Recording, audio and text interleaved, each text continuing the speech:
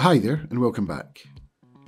I have another Hive Fleet Typhon video, but this time I wanted to focus a little bit more on how to paint Hive Fleet Typhon wings. I wanted to practice how I was going to do wings before I started the large Forge World Harridan model. And I happened to have a winged Hive Tyrant kicking about, so I thought I'd use that.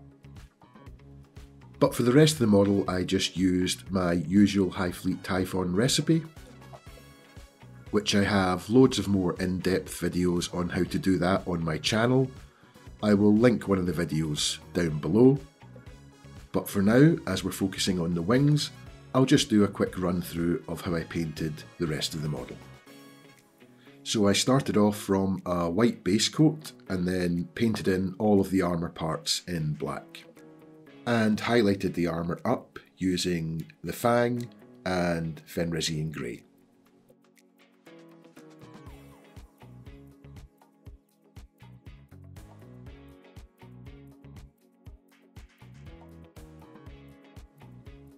I then painted all of the boned areas on the model and I used Citadel Contrast Magos Purple and I used two coats of that.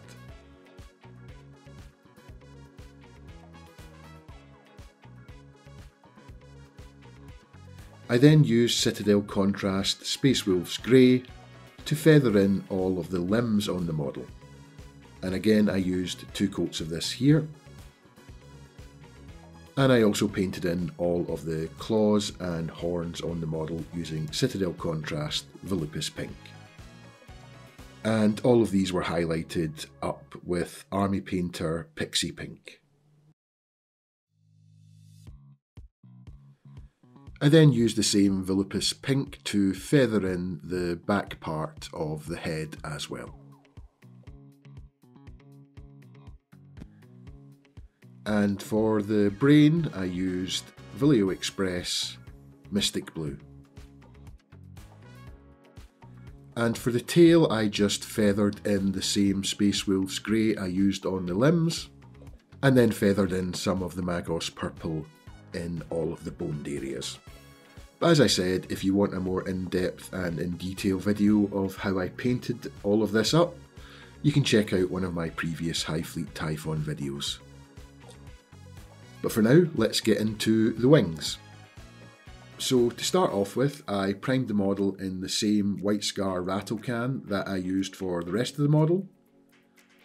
And at this stage I did feather in the arms as well using the Space Wolves Grey, but to be honest I should have waited till after I'd painted the wings to do this, but in either case uh, it's not a huge deal. As we can always go back in and touch up any mistakes that we do make.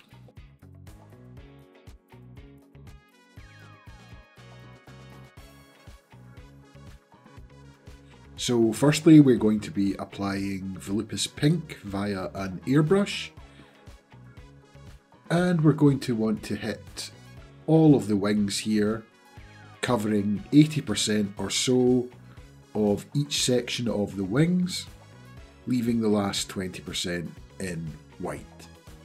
And if possible we want to try and make it a little bit darker at the kind of apex of where we're painting or where it's kind of close to the fingers or spines on the model. And just make multiple light passes with the airbrush until you've got a nice even coat across all of the areas of the wings.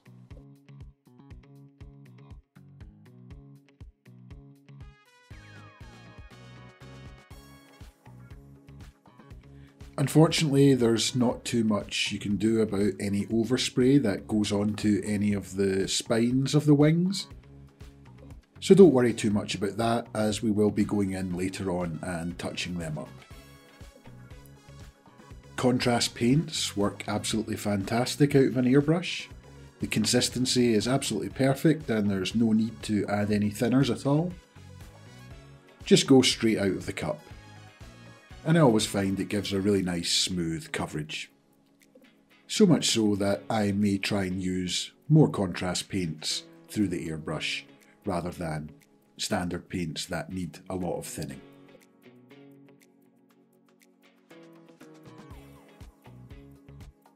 And they have the added bonus that they don't really clog up the airbrush very much, so you don't have to spend a lot of time dismantling the airbrush and cleaning out all of the parts constantly.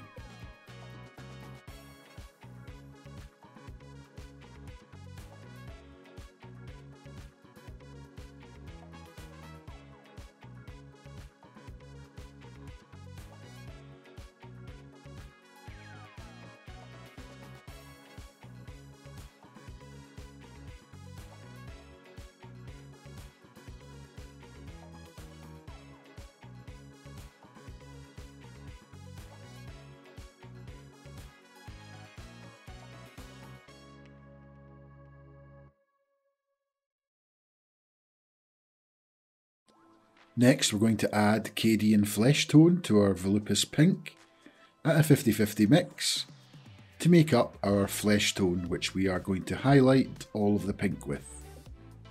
Again, I'm using the airbrush. And this time we just want to cover slightly lesser area, leaving some of the Volupus pink left behind.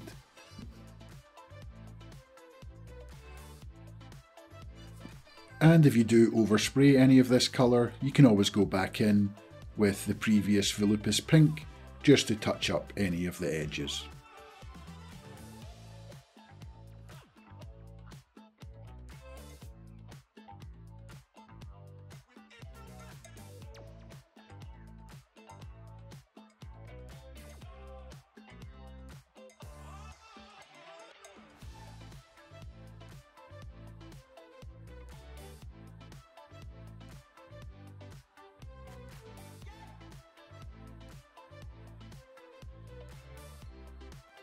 Next I went in with a layer of shade to try and tie in the previous highlight layer.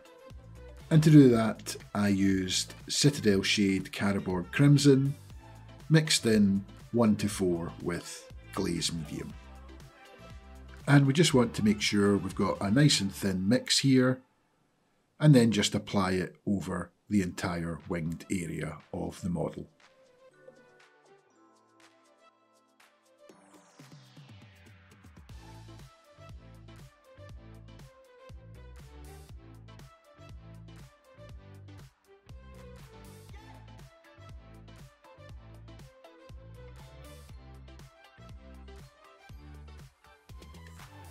And once you've applied that, you'll just need to go back to it kind of every five minutes or so for the first 15 or 20 minutes to make sure that there isn't too much pulling occurring as you'll find that a lot of the wash will kind of pull towards the bottom of the model and you just want to go in with a dry brush and wick it up.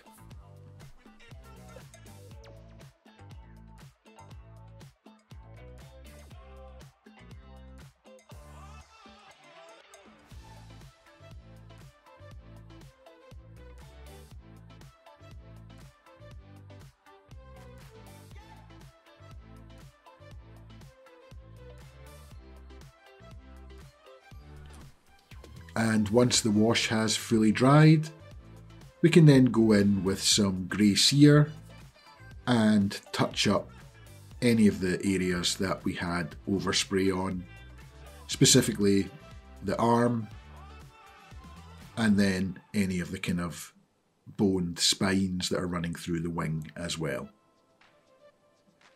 And just take your time here and try not to get any of the white onto the wing itself but if you do, you can always go back in with the Volupus Pink uh, and do some touch-ups.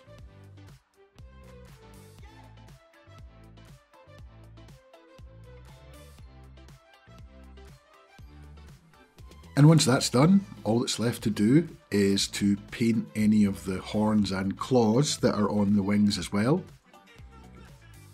And to do that, I would just use the same technique of giving it a base coat of Citadel Contrast Volupus Pink, and then highlighting it up with Army Painter Pixie Pink.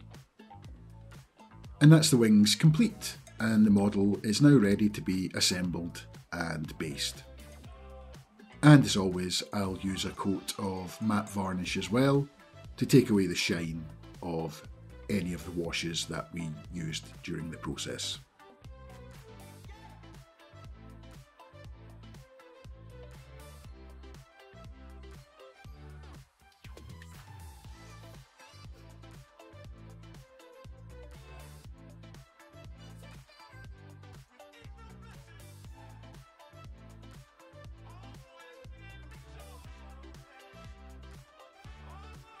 I'm really happy with the way these wings turned out. I really like the way the pink and the flesh work together and really pop on the model. And I think I'm going to go with this recipe when I do finally get round to painting up the Harridan model.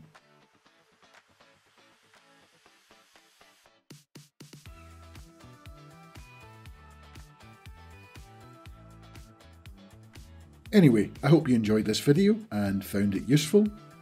And if you do give this colour scheme a try on one of your own models, then let me know how it goes down in the comments below. And if you do have any questions on how to paint this colour scheme, just let me know down in the comments below also. But until next time, happy painting and I'll see you in the next one.